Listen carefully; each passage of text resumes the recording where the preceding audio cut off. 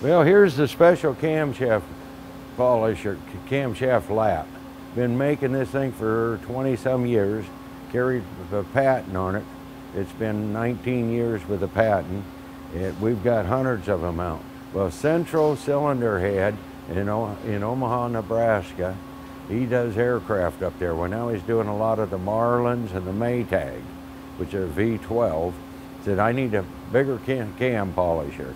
Well, we got it ready and it's going to be shipped here shortly. And it's designed with, it's got a variable speed. You can, does not change the profile, does not change the profile on the cam at all.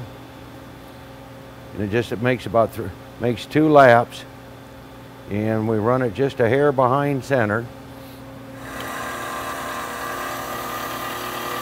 Come down right after the peak.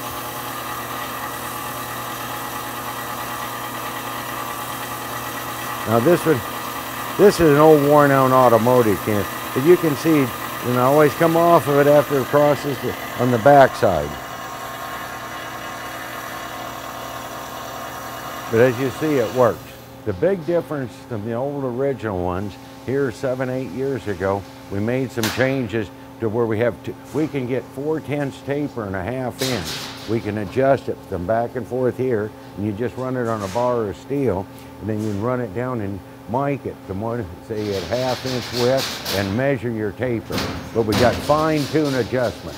But then to change the belt, it's spring loaded. We have different ones. The Marlin is an inch and a quarter, and most of your Continentals has a one inch, but that's what they are. They run true. It's a rubber saw, a 70 durometer. It fits behind the lobes. But as you can see, it does an excellent job, and he'll be real happy with it. And we make them 32 inch centers, make a lot of them at uh, 40 inch for the rack and pinion people. And then we make, uh, for a lot of the diesel, we made as long as 110. But most of your big diesel stuff is 96 inch between centers. And it's a little more heavy duty. But give us a call and we take care of all your micro polishing, cam lapping, and we can do some with a diamond Mylar belt. You can actually get down in a, you know, three to four finish. Anyway, give us a call. Talk to you later.